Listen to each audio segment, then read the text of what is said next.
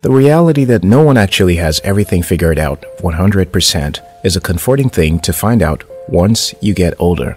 You realize that no one can predict the future and that no matter how planned anyone is, mishaps can still befall them. So relax, you're still young. You have to work hard, but don't beat yourself up over your mistakes. In many ways, your success will be born out of the experience you gain from each mistake. In today's video, I'm going to share with you 10 mistakes you should be making in your 20s. 1. Taking big risks. This can be seen as the biggest mistake you will ever make in your life. The funny thing is that it holds the most potential for success. Who would have known that the most valuable companies today would be tech companies and not real estate or oil companies? The world has changed a lot since the early 90s. You have to change with it.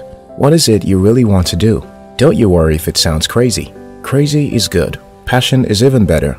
But are you willing to do it even if you know it will fail? And will you keep trying until you get it right? If you're not willing, it will be difficult for your dreams to manifest. 2. Doing what other people won't do. You must be willing to do what others are not willing to do. Of course, everyone will feel that you're out of your mind. Imagine quitting an executive role at McKinsey to pursue a business idea that absolutely everyone thinks has no merit. Things that don't follow popular logos are branded crazy. And if the idea does not materialize any useful product within a year, it further validates their earlier assumption that you were wasting your time. Don't let anyone discourage you from pursuing a dream you have the conviction of. As long as you believe, keep going.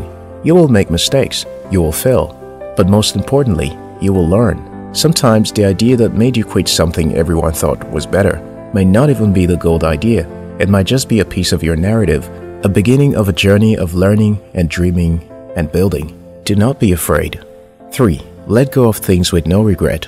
When you have worked on something for a while, if you feel there is something you're not quite getting right, pull out. You don't owe anyone an obligation to remain in the project simply because you said you were working on it. Remember, it's your life and not theirs. If you're no longer happy with a job or just feel there is something more there for you, just leave. If you don't, you will probably regret it later anyways. You're young and full of energy. Pursue your passion with vigor. You deserve better. No one but you can tell what you want and will make you happy. Don't take other people's opinions on things that will make you happy because they really don't know. Find the courage to always go for what you want, whether or not you will eventually change your mind. It's the lesson that ultimately counts. 4. Cut off some friends. There are people who are naturally going to drag you behind. They never say anything good about any of your ideas and mostly talk about themselves and their accomplishments. If a friend has never encouraged you to pursue an idea, think about it critically. Friends support one another, if your friend has both never supported you, nor is he or she ready to, let them be. You're better off with people who actually care about you. We are humans. Who wouldn't like to hear the opinion of his friends on his idea? Or have them laugh with him about how the market might receive the product or services? You need people who share your ideals and possibly struggles. If you are friends with someone trying to build something too, it is easier for them to relate with your struggles than people who work 9 to 5s.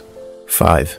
Pamper yourself with a treat once in a while. It is very clear at this stage in life that the world would not end if you splurge or even take a loan for that matter. The world would simply become less pleasant. You wouldn't like to see your favorite snacks or any commercial around it. You would probably feel mocked. Still, you should pamper yourself with a treat every once in a while.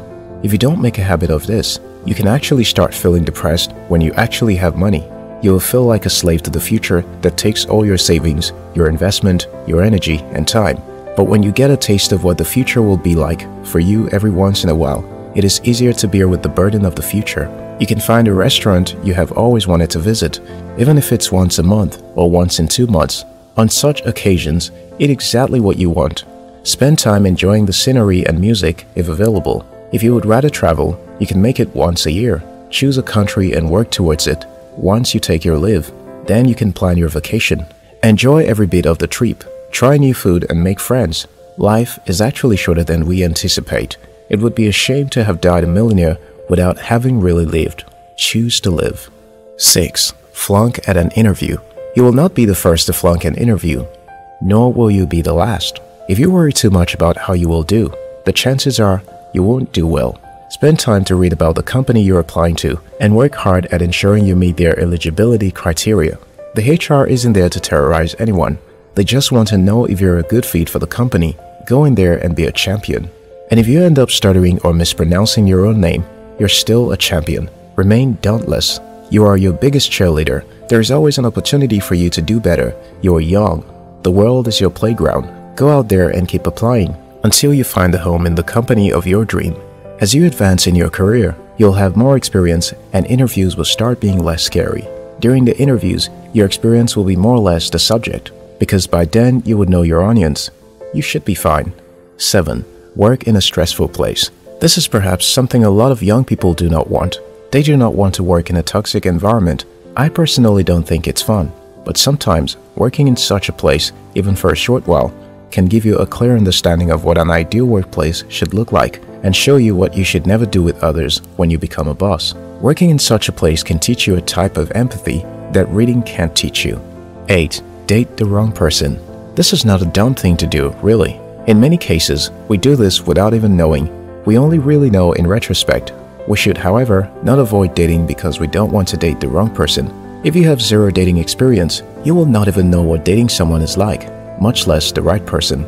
The right person does not have a banner on his or her head that says, I'm the right person. They are normal people with everyday trouble like everyone else.